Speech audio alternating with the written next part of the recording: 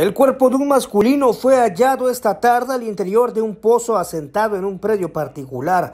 Autoridades ministeriales tomaron conocimiento de lo que se presume pudiera ser un homicidio, con base a una serie de manchas de sangre localizadas en la vivienda de la calle Vasco de Quiroga, casi esquina con Saavedra de la colonia Chapala.